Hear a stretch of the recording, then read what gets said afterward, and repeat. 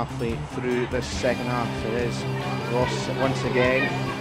Headed away by Rhonda Jones, comes back in, and that's a second goal. And it's a fabulous header from Leanne Crichton from the edge of the area.